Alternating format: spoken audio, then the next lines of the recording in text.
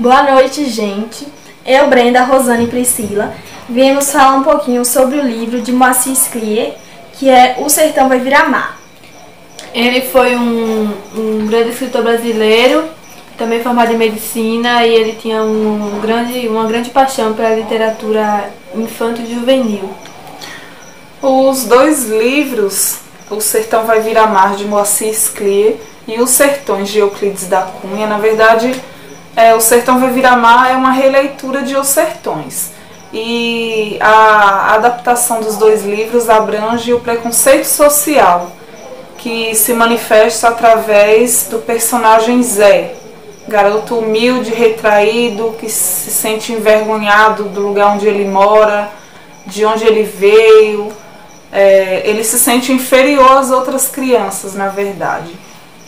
E com isso, é, gera uma curiosidade entre os outros alunos de saber o porquê daquele jeito dele, de onde ele vinha. Ele é um garoto muitíssimo inteligente.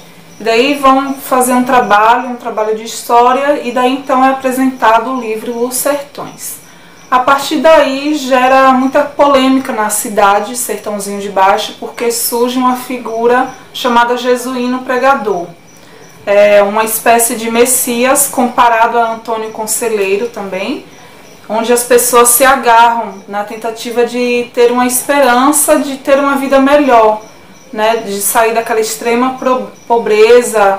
É, Jesuíno Pregador pregava a palavra de Deus também, assim como Antônio Conselheiro, na esperança de que Deus poderia é, diminuir a, todo o sofrimento deles em toda aquela situação de fome, de miséria, é uma miséria absurda que não dá nem para procurar um exemplo de tão miserável que eram as pessoas que viviam naquele lugar chamado buraco. E os sertões é, fala também da trágica guerra de Canudos, que foi causada por é, que não chegaram a um consenso de conversar, de saber resolver um, um, problema. Diferente com o que fizeram no Jesuíno, porque foram à procura do que acontecia com ele para ele fazer tudo aquilo, de levar multidões, de ser uma espécie de. resolvia daquilo. tudo, era como se fosse um juiz no buraco. Ele quem resolvia todos os problemas. Então queriam entender o que, que ele já passou na vida para chegar àquele ponto. E foi aí que resol, é, procuraram saber o que, que aconteceu com ele. Na verdade, ele perdeu o pouco que tinha é, com, na construção da barragem Mar de Dentro.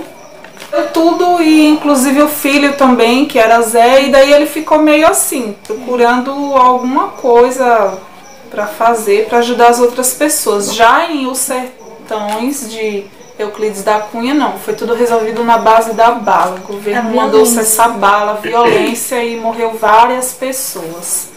Fecha. E já com isso, esse texto, né, quer nos mostrar que devemos é, conversar primeiro, tentar resolver, chegar a uma conclusão, ao invés de já partir com a violência, com e foi exatamente essa a mensagem que Moacir quis trazer pra gente, que tudo tem uma, um, tudo tem outro, outra forma de ser acabado sem ser a, é, na guerra.